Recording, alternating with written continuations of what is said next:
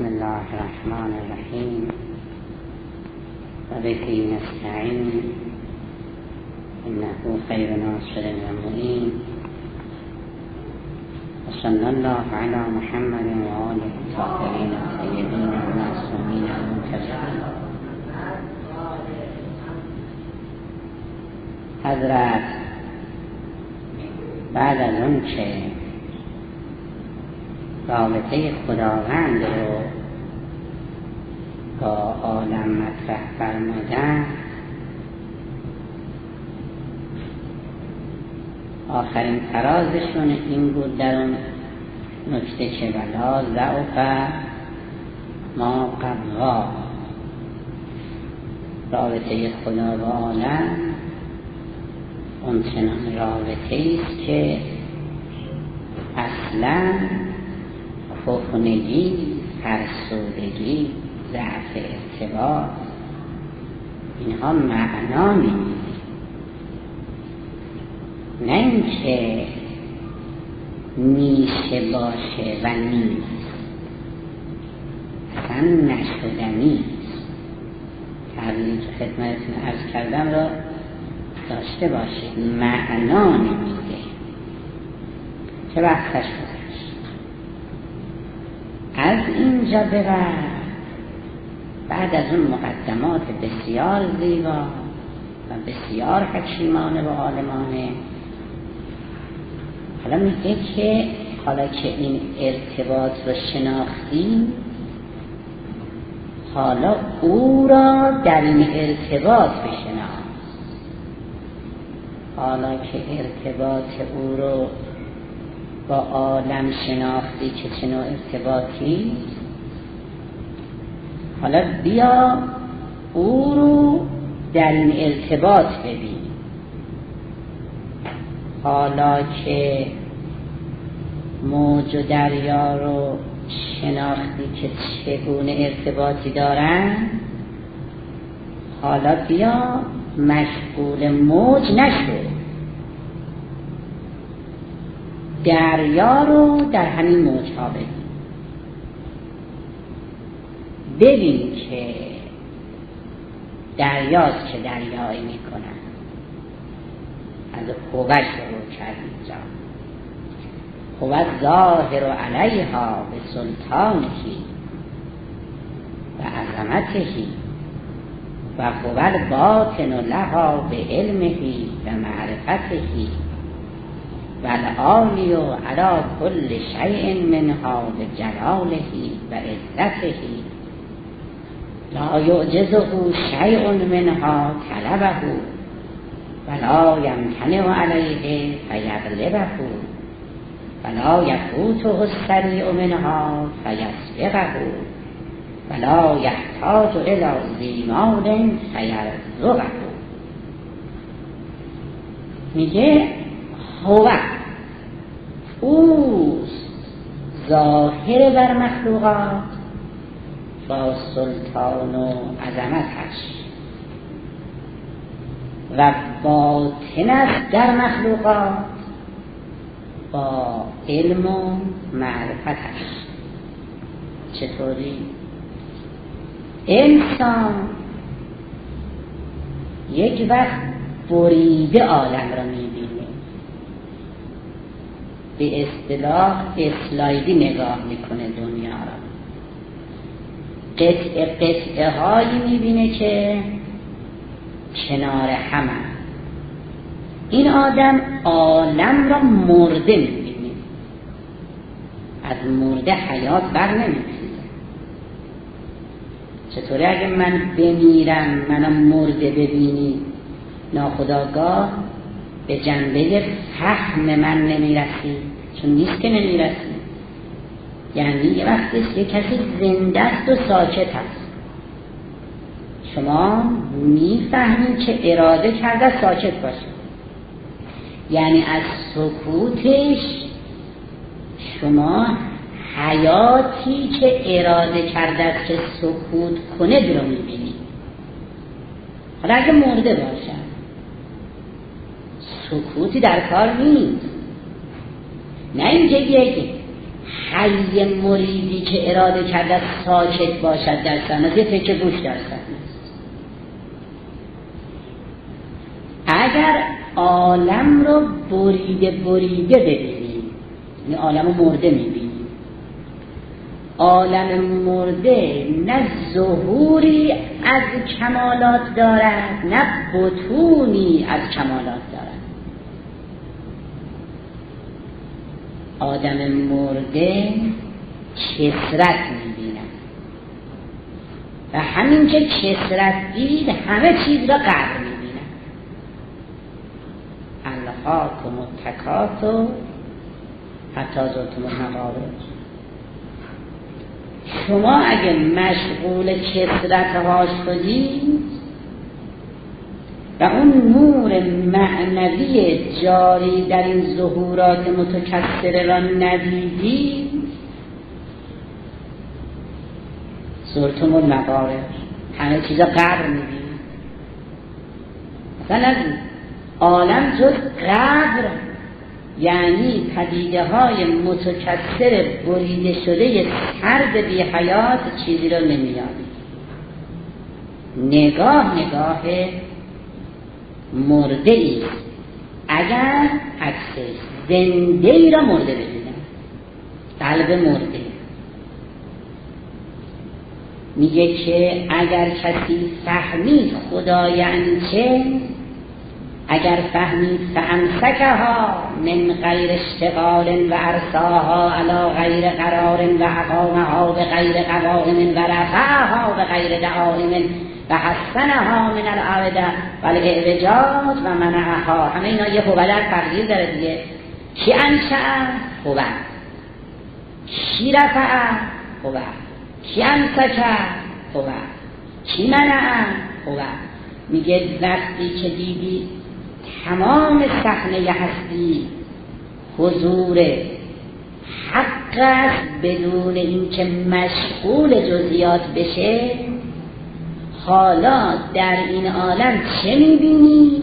این عالم یه چهره دارد یه باطن وقتی که دیدی انشع خدا عرض را و انسک خدا عرض را و ارسا خدا عرض را و اقام. یعنی وقتی که خدا رو متوجه شدی که خدایی می‌کنن و نحوه حضور و تدبیرش هم یه نحوه خاصه و حالا هوت ظاهر. حالا اون رو ظاهر می‌بینی در عالم. عالم بریده قطع قطع شده نمی‌بینی که مشغولش بشی. بلکه مشغول اون میشی که در عالم ظهور کرده و مشغول اون میشی که در باطن عالم جاری. چطوری؟ متاسفانه گاهی مردم فکر می‌کنن طرف احساساتش تحلیل شده داره شعر میگه. نمی‌تونن گاه اون دل نافذ و چشم بسیر نافذ حکیم رو که از عالم حی زنده یک ظهوری از خالق ببینن در صفت سلطه و عظمت. و در عالم حی زنده یک ظهوری یک حضور باطلی از خالق ببینن به صفت علم و معرفت. یکی از مصیبت هایی که این تمدن برای ما ایجاد کرد این تمدن چشم ما رو نسبت به عالم چشم اسلایدی کرد چشم بریده از معنا کرد. یعنی این تمدن برید ارتباط ظاهر رو از باطن. نگاه علم امروز به عالم نگاه بریده بریده از عالم غیب. نگاه علم امروز نگاهی که نه می‌تواند در این عالم جنبندی کند ظهور حقیقتی را. نه می‌تواند در این عالم متوجه بشه حقیقت باطنی را. دور از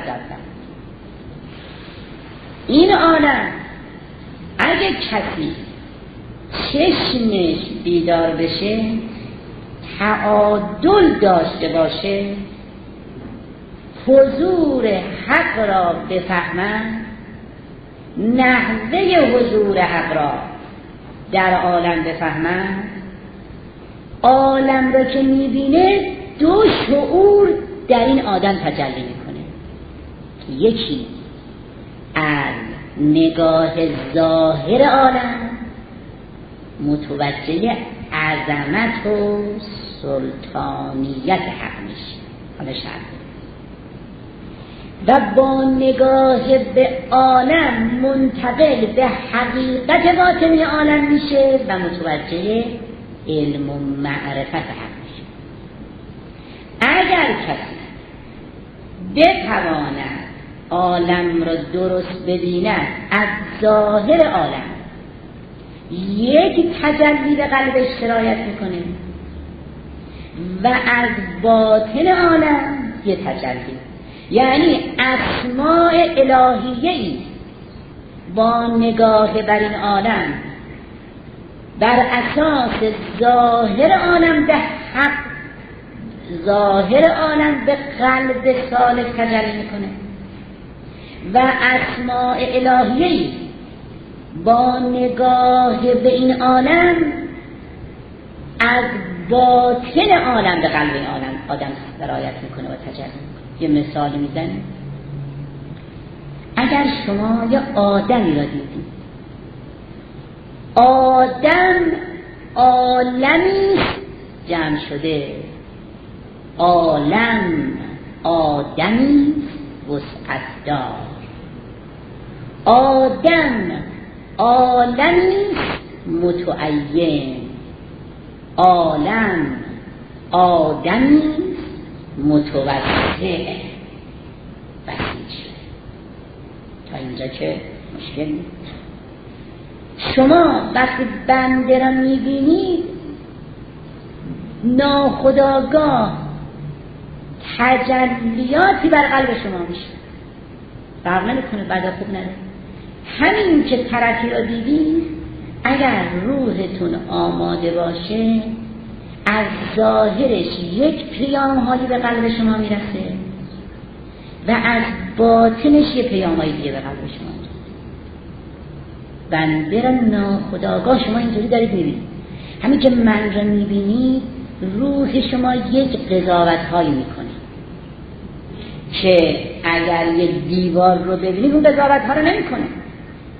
اگر یک موجود غیر انسانی را یا حیوانی دیگه را ببینید این قضاوت ها رو نمی کنید این قضاوت ها در اساس ادراکات قلبی شما که حکم عقل ازش می‌گیرید یه مرحله.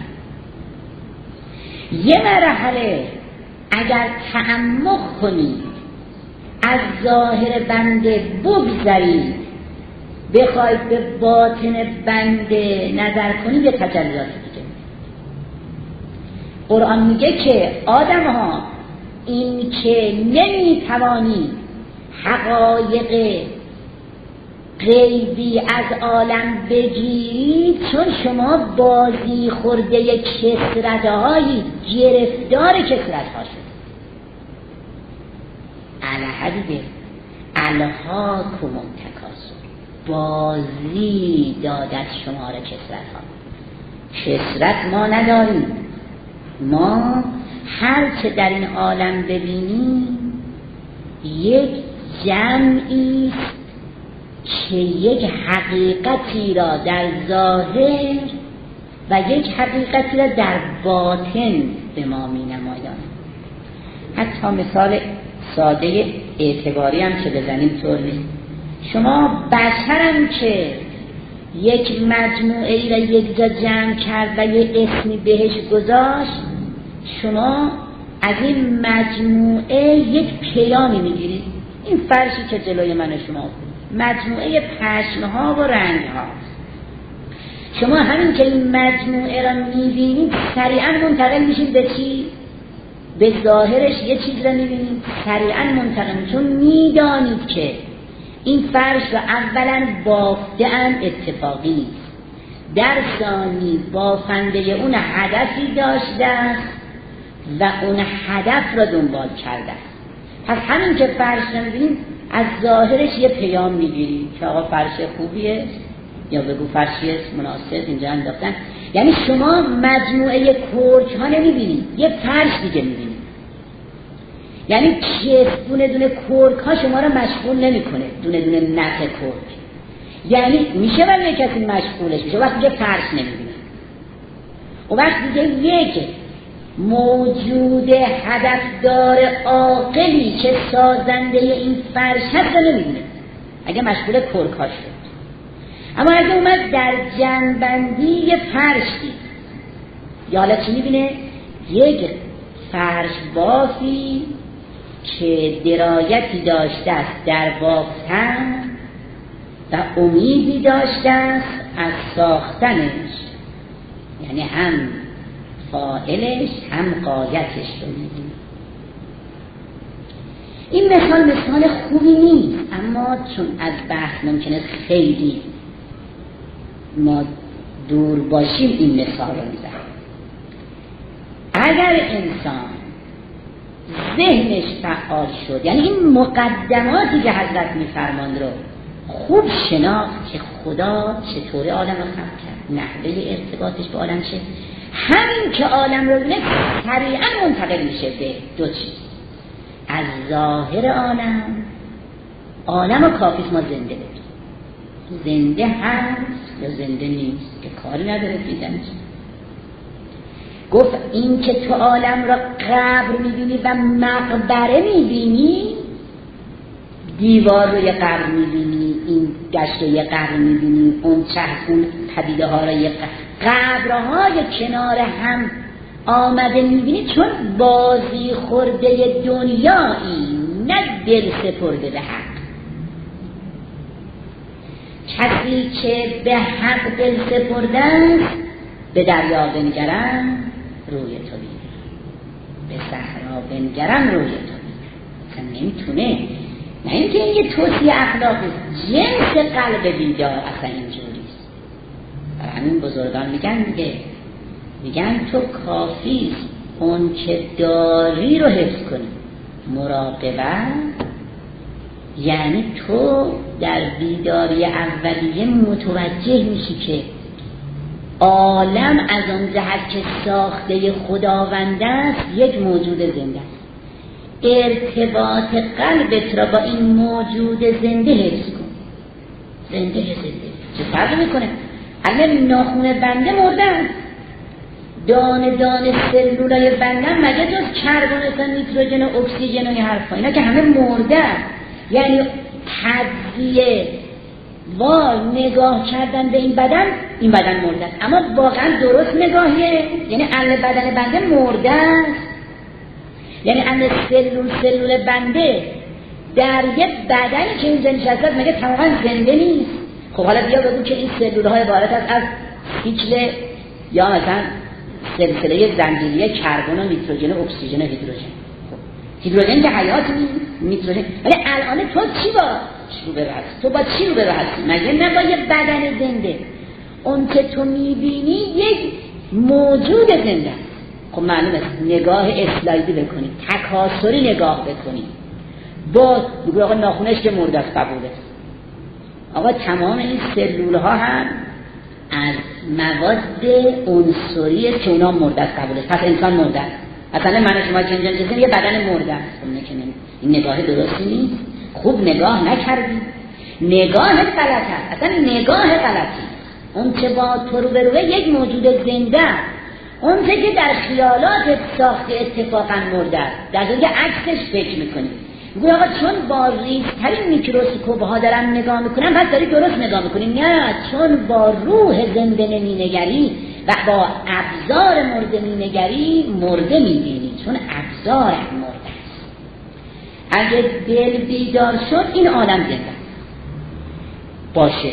شما بگوی آخه سنگ زنده است؟ نه. آقا هوا زنده است؟ نه. اما عالم زنده است. ناخون زنده است؟ نه. مو زنده است؟ نه. تک تک سلول های بنده که از عناصر تشکیل شده تو عناصر زنده است؟ نه. اما تو با چی رو برو با یه ارگانیسم. یک پدیده زنده.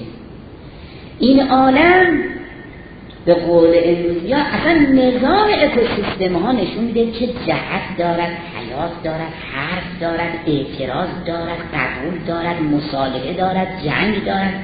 با تو می جنگد با تو صلح می‌کنه. یعنی یک عالم زنده است. صلح می‌کنه با مؤمنای عالم صلح می‌کنه. با دشمنان می جنگد مثل بنده مثل بنده. بنده که مش می‌زنن تو سر یه آدمی که به مثلا ظلم کنه؟ خب این مش زدن من نشانه اینه که یک موجود حساسی که این ابزار و عناصر در اختیارش و در قبضش در سهم این این ما در عالم داریم. حالا عالمی که ما میگیم شامل انسانم تازه میشه. حالا حضرت میگه که تو نگاه کن به این عالم با اون مقدمات. چی می‌بینی؟ باید ببینی این کتاب دنیای متجدد جوان مسلمان و دنیای متجدد اون عواست کتاب معلف یه نکته خوبی داره. سعی کنید کتاب گفتم از اینجان که تجدید چاپ شده چاپ سومش بخرید کتاب رو. ایشون یه نقدی می‌کنه سریع رد میشه ولی نقد خوبه. همین رو میگه. میگه دنیای متجدد. حالا من تعبیر ذهنم نیست ولی به همین مضمونه.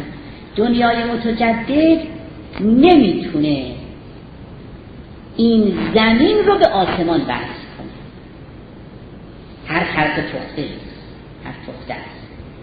مثلا شاید بگیم تمام بدبختی نگاه مدرنیسم تو همینجا خوابیده حالا با صد دلیل بیان آقا دلیلن که آقا این مو بالاخره مو هستنه چرا بود؟ آقا من اینقدر آزمایش کردم هزار نکته اولیه علمی مجرد از عالم غیب از این مو در آوردن. خوبه یا بده؟ بده. چرا که مو رو نمی‌بینی؟ چرا مو رو نمی‌بینی؟ که بسته به غیب نمی‌بینی. وقتی مجموعه عالم را نتونید به غیب بس کنی اصلا ندیدی. مثل اینه که شما بنده که اینجا نشستن رو مرده ببینید صوت که مثل صوت ماده نیست. صوت با این ریه بنده باز میشه. به خود هوا میاد توش. بعد از طریق ارتعاشات صوت تارهای حنجره به گوش شما می‌رسه. اینجا به آدمی که نفس می‌کشه و حرف می‌زنه زنده است نه اینم مرده. چرا؟ چون صوت عبادت از هوا هوا که مرده. خب یعنی وقتی که مجرد نگاه کنید باورتون بیاد که ما عینا عالم را اگه یه کسی که این آدم که اینجا جدید داره حرف می‌زنه و نفس می‌کشه مرده است و شما قبول نکنید پس این عالم هم عین همین است باید قبول نکنید اونگه اینه که غفلت از خود داریم خیلی رو خودمون نظر نمیدیم برای عالم عینا همینطور می‌بینیم. عالم بریده هر پدیده ایش رو بریده می‌بینیم. مثل اینه که آدم رو هر پدیدش رو بریده ببینیم. صوتش رو بریده ببینیم. از بقیه نسلش خب میگیم که یه پیدا مرده بقیه چند مرده پس مرده ها کنار همه سرتمون مقابر. پس قبرها رو کنار هم شما دارید می‌بینید. دیگه شما بعد خود قرآن میگه دیگه صبر کن پدر به در میاد میگه میکشونمت به اونجایی که از این بدن آزاد بشی. وقت می‌بینی که اینجور دیدن آدم یعنی جهنمی شده. در واقع تو لترون جهیم حتما تو جهنم خواهی. بهش نمیدی آدمی که این عالم را بریده از بطن غیبی و تجلی غیبی ببیند این دارد جهنم رو برای خودش آماده می‌کنه. همه حالا. و ازش می‌پرسن ثم لتسالون یوم اذن عن نعیم یعنی نعمت جاری در این هستی را چرا ندیدی نعمت یعنی ظهور حق منعه ندیدن دوباره جمله حضرت بخونیم هو ظاهر این هو را کی می‌بینه هو این مشکل اینجاست این هو مشکل یعنی از عالم هو می‌بینی یا بی هو عالم می‌بینی شما یه وقت بنده که اینجا هستن میگوی فلانی حرف می‌زنه اول چیا می‌بینی؟ فلانی را میگوی هو یه وقت میگوی حرف زدن هست در صحنه. هوی نیست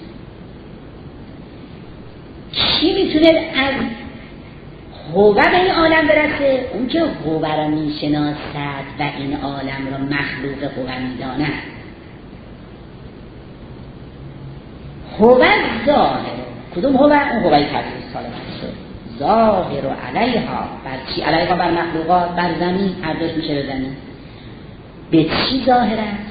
به سلطانی و عظمتی یعنی اون که در ظاهر عالم تجلی می‌کنه سلطه حق که این عالم تماما در قبضه حق. یعنی باید عالم را که می‌بینی سلطه حق را در عالم ببین. مشغول کدوم قسمت عالمی مشغول پشمها هستی یا انسجام قالی می‌بینی.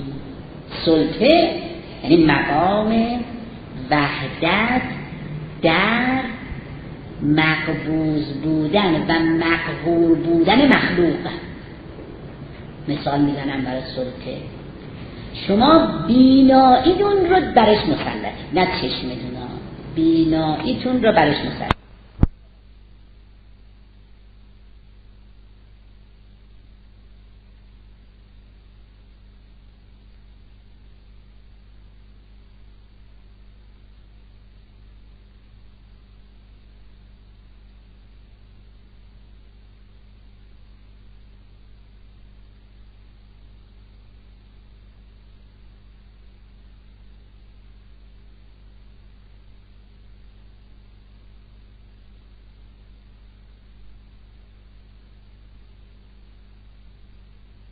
بینایی اون چنان در قبضه شماست که شما احاطه کردید بیناییتون را.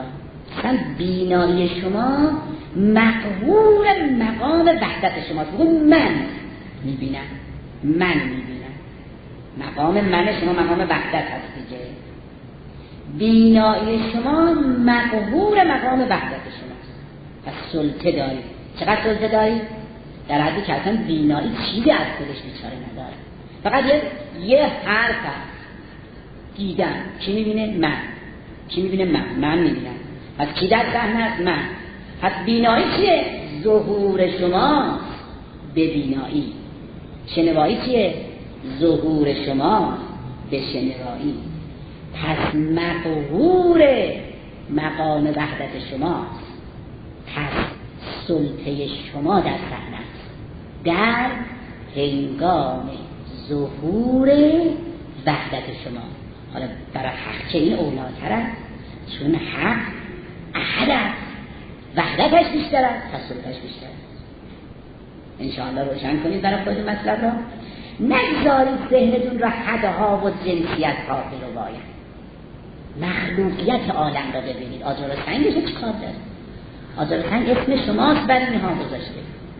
مخلوقیت عالم رو ببینید تا کار مخلوقیت عالم هست یا نیست؟ مقدمات قبلی. عالم مخلوق چه مخلوقی؟ خب یک. حالا مخلوق در مخلوقیت موجود است در استقلال؟ میگه میشه استقلال؟ بعدا هم بیشتر روشن میشه. خب پس هرچه در این عالم می‌بینید انسجام می‌بینید یا پراکندگی؟ فرش می‌بینید یا پشت اگر نگاهت به کسی باشد که با نیتی این فرش رو ساخته و برای هدفی بهترین نگاه که پش نبینید پش ببینید پش ببینید منتقل میشی به فرش با. منتقل میشی به قایت و فائل حالا دوباره نگاه کنید عالم. عالم زنده منسجم می‌بینی. خب انسجام عالم نشانه مقهوریت عالم از توسط احدیت. پس همین که عالم می‌بینی عظمت حق می‌بینی. نگاه کنید حالا یه کسی به آسمان نگاه می‌کنه یاد سلطان حق میشه سلطنت حق میشه. یه کسی به خودش نگاه می‌کنه یکی به تاریخ نگاه می‌کنه یکی به سرنوشت یه طایفه نگاه می‌کنه یکی همه عالم رو که نگاه می‌کنه جز ظاهر عالم رو که می‌بیند. اون انسجام مقهور احد رو می‌بیند و سلطان حق را در عالم می‌بیند و عظمت. یعنی نه یک کمالی هم تراز کمالات عالم. کمالی چه چنان برتر از چه این عالم به تمام در قبضه اوست. مقبوض بودن و در قبضه بودن عالم رو می‌بیند منتقل میشه به عظمت حق عظمت حق یه مثال ساده بزنیم. اگه شما خورشید رو دم بوم خوندون می‌دیدید و وقت چقدر روشنایی داشتی؟ به اندازه خوند دیگه محله همسایه روشن نبود. چون خورشید کجا بود؟ دم بوم خونه. حالا اگه خورشید خیلی برتر از اینها باشه از نظر اشاعه نور همه جا را شما تحت تاثیر نورش می‌دید حالا این عالم را که تماما در قبضه حق می‌بینیم در ظاهر به چی باید منتقل شد؟ به عظمت حق. که این همه وسعت اونچنان در قبضه اوست که هیچ خللی نقصی انفراجی تفاوتی در اون جایی نمیشه. پس منتقل میشیم که اون لبه بوم عالم نشسته. اصلا حدش حدی که جایی براش تعیین کرد. حضور جزئی براش تعیین کرد. یک عظمت که بهتر است بگون حیرت. شاید بعدا بیشتر بشه با عظمت رو. صوت صحبت. میریم بحث بعد. یعنی قسمت باطن رو میگیم بعد ممکنه بعد و قوت دوباره قوت در قرآن داریم که برادرای حضرت یوسف وقتی یوسف رو شناختن دو جور می‌تونستن حرف بزنن. بگن یوسف تویی یا بگن تو یوسفی. نگفتن ای اون یوسف تویی؟ گفتن انت یوسف ای تو یوسفی؟ امام صادق علیه السلام از اینجا نکته خیلی لطیفی در یعنی اول. اینا دیدن که یوسفه. یا اول یوسف دیدن که اینه. تو با هم فرق اگه بگن که اون یوسف که ما میشناختیم تو از قایب به حاضر من اگر اول اینا دیدن و به اون قایب پی بردن از حاضر به قایب گفتن تو یوسفی یعنی با رو به اول کیه نگاه کردن؟ اول اینا. و پی بردن که همون یوسفه. یعنی اول در صحنه با آینه روحشون کی حاضر شد؟ این چه یوسفه. حالا یه وقت آدم را می‌بینیم. چه خبر از خدا میده؟ یه وقت خدا را می‌بینیم. که در این عالم پیداست یه وقت موج رو می‌بینیم. که از دریا؟ یه وقت دریا رو می‌بینیم. که موج داره؟ سه تا نگاه هست دیگه. یه نگاهی که مشغول موج میشه. دریا رو اصلا نمی‌بینیم. نگاه کودکانه اصلاحی دیگه الحاق و متکافر یه نگاه که اون چنان محو دریا میشه که اصلا موجه نمی‌بینه نگاه سجده. در سجده شما چه حالی دارید؟ هیچ. هم در ظاهر سجده هیچی نمی‌بینید قلب انسان ساجدم. حقت محو حق است. در همین قش کرده. است در روایت هم دارید حضرت در صلات معراجی به جلال خدا و اعلایت خدا پی برد و قشت بعد شروع کرد در این حالت. محو ذکر سبحان ربی العظیم و اعلا و به حمده بجه خب نگاه سجده. یعنی محو حق یکی نگاه تشهد. یعنی با دیدن کسرت ها کسرت ها در وحدت دیدن. تشهد مقام بالاتر از سجده در سجده انسان وحدت می‌بیند و کسرت را اصلا نمی‌بیند.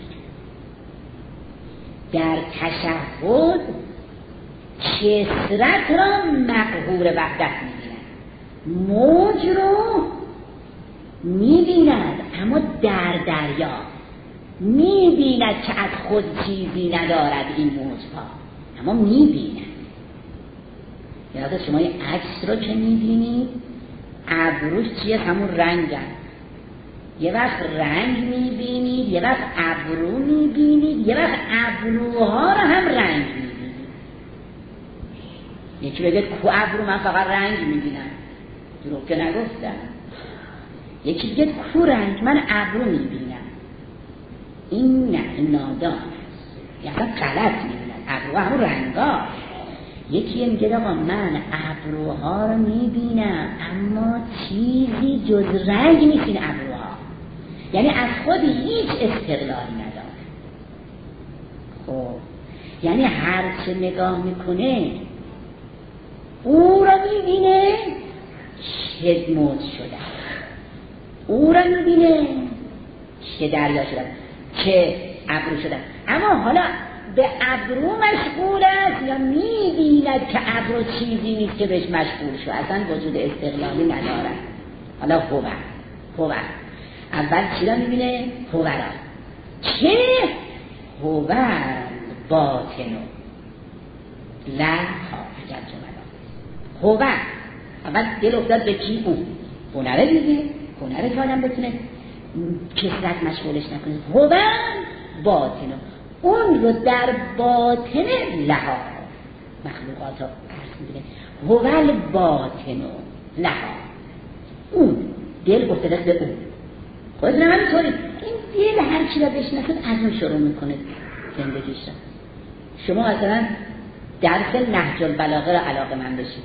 میای تفسیر میگوی که نهج البلاغه را می‌دونی که مثل نهج البلاغه یعنی اول نهج البلاغه را می‌بینی بعد تفسیر توش. حالا عکسش کن. یعنی به تفسیر باشه. میگی تفسیر میگی که نهج البلاغه مثل هست رفیق ابرواش خیلی برای تو پسندیدن میگو این هم شکل حسن. نه حسن شکل اینه یاده. برای چی؟ این شکل حسنه. برای اینکه که حسن در آینه دلش ظهور کرد حالا عکسش. اگه این اکبر آقا در آینه دل فلانی ظهور کرده میگه ای حسن هم شکل اکبر. حالا کی در قلب ظهور کنه حق است خوبه بقیه چی نیست؟ خوبه تنگهی چی؟ حالا این هر چه در این عالم زنده حی می‌بینه ظاهرش که گفتیم تجلی اسم سلطان و عظیم است براش.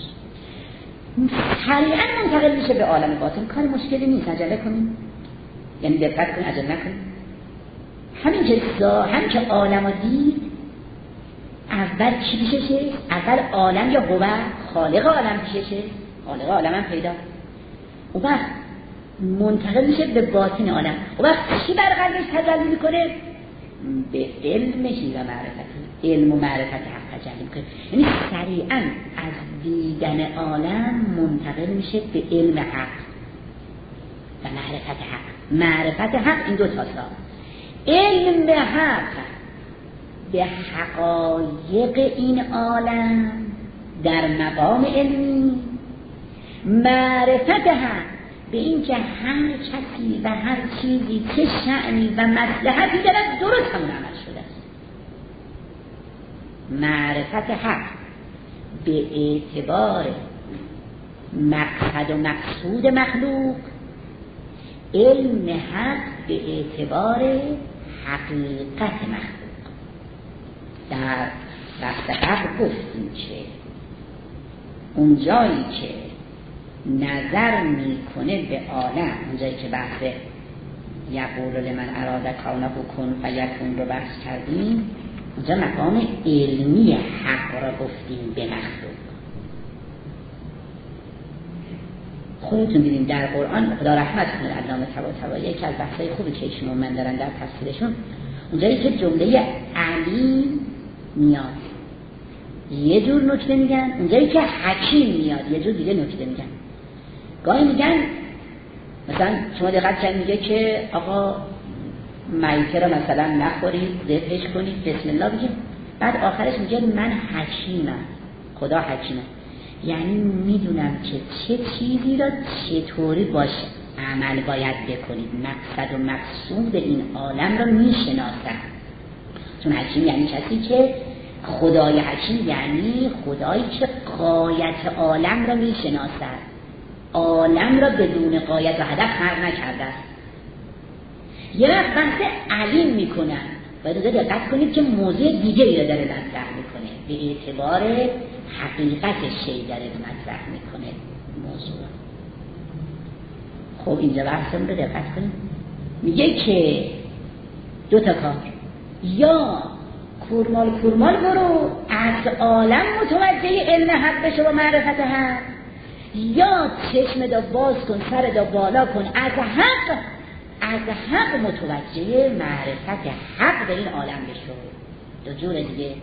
یه وقت حق را می‌بینی و در عالم کمالات و صفات حق را می‌بینی. کار خوبیه خیلی خوبه. یه وقت که کمالات حق را می‌بینی و در کمالات حق حق را می‌بینی. این هم خوبه. هر خوبه.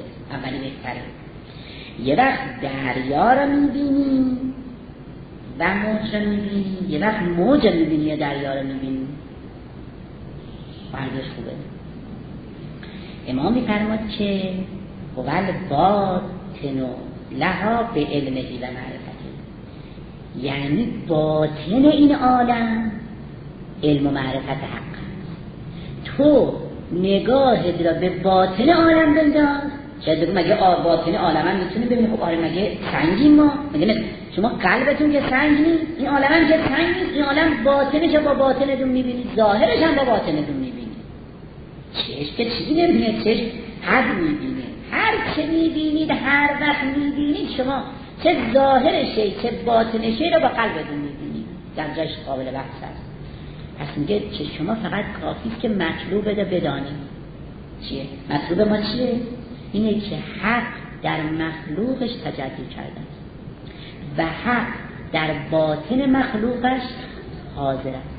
پس ما مطلوب که مشخص شد نگاه ما مشخص کنیم حالا تمرین کنیم از این به بعد تمرین کنیم من یه مثالی بزنم.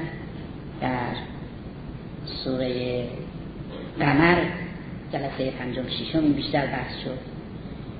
انسان اگه دل سالم شد روح دیدن اولیا رو پیدا می‌کنه. شما ببینید این امام رحمت الله علیه یادم بود. یه دی خیلی سریع متوجه شدن. این یه باطن معنوی داره. همون از قبل از 15 خرداد 42 هم فهمیدن یه دی یواش یواش فهمیدن یه دی هنوزم نمی‌فهمن که این یه ولی الله بود برای هستی. نمی‌فهمن. واقعا یه آدم سیاسی بزرگش می‌دونه. میگن از گورباچوف و امام و اون اوزان مال ترکیه. اینا هر که باشون میگن اینا قهرمانان سیاسی تربوت اوزان بودن. اینا قهرمانان سیاسی این قرن. باش یه نوع نگاه دیدن اولیا نگاه دیدن باطن عالم این نگاه سالم. همه نمی‌بینن. همچون که باطنی عالم اگه قیامت نیست همه نمی‌بینن. شما مطمئن باشید یه چیزایی می‌بینید. گاهی تفسیرش اون مشکله. گاهی منتقل میشی سریعا این قلب آخه فعال است. قلب مجرد همه جا هست. مجرد الان شما بیرون. یکی بگه این دیوار نمی‌ذاره که من بیرون ببینم. اگه می‌خواید بیرون موزاییکاشو ببینی آره این دیوار نمی‌ذاره. ولی اگه شما بخوای حقیقت رو ببینی که حقیقت رو باید عادت کنی بشناسی. چشمی که چشم دلی که اسیر رویت چشم سرم این آدم اصلا منتقل نمیشه. یه نکته میگم انشاءالله اینا رو بحثش جمع بشه. امروز داشتم یه کتابی از این جامعه شناسای آمریکایی میخوندم بیچارا دیدم که خیلی حول کرده.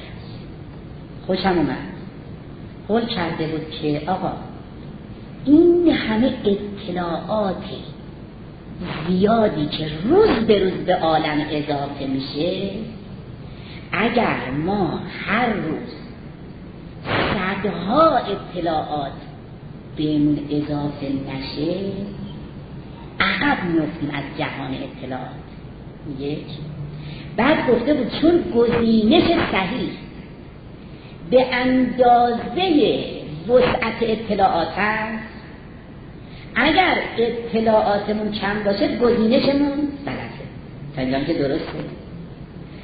پس حالا باید به شدت آخر اطلاعات جهانی داشته باشیم تا گزینش درست بکنیم. عقب نیفتیم از جهان فراصنعتی بعد داشت انتقاد می‌کرد به نظام آموزش پرورش دنیا که در حد صنعتی موندن هنوز فراصنعتی باش.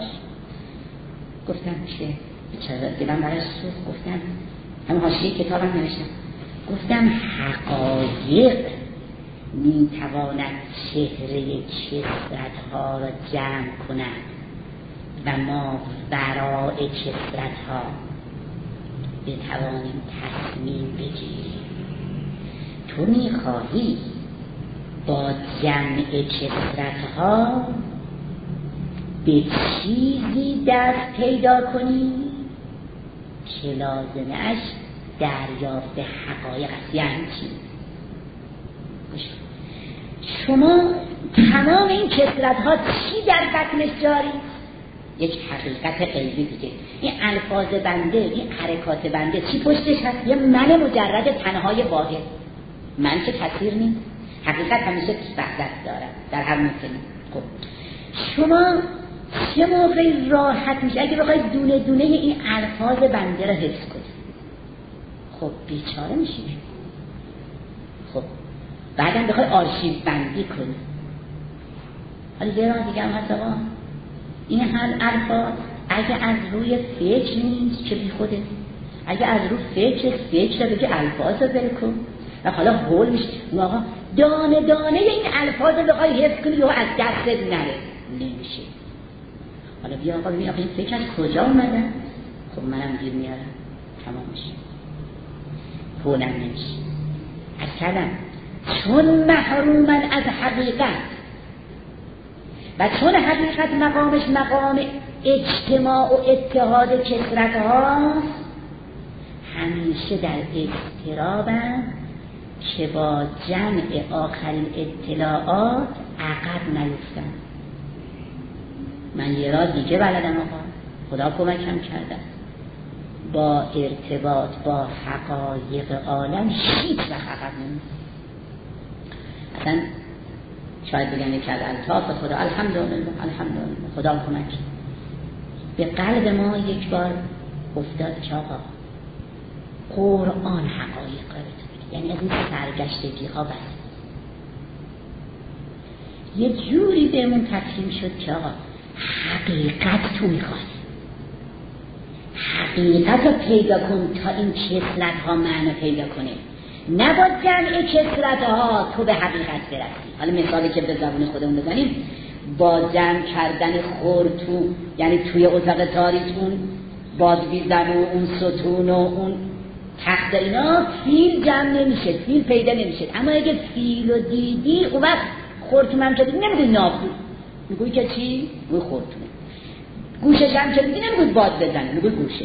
چرا کل را که داشتی جز را معنی برد پیدا می‌کنه و داریم این به قلب ما به لطف خدا افتاد و همینم خیلی کار ما که اگه به ناتیجی گیر بیای از بالا میشه پایین گیر بیای از پایین خیلی نمیشه بالا را گیر و اینه که تلاش بنده و جنابالین باید باشه که آقا اصل الحقیقه حقیقت الحقیقه قرآن علما فرعن قرآن ناطقن اما قرآن هم میگه که ناطقن یعنی اون اگه بگیری از این کسرت ها تازه استفاده می‌کنی. اینو داشته باش. بیشتر از من یه فرصت بیاد یه مقدمه بیاد مفصل عرض می‌کنم. مطلب خیلی وسیع است. ولی عرض می‌کنم کیف کردم که این بیچاره چقدر بدبخته. بهتر کیف کردم که بی قرآن همینه. آنچنان نمی‌دونم بخونید این کتابش اینا آنچنان مضطربن از این که نکنید یه چیزی از دستشون بره.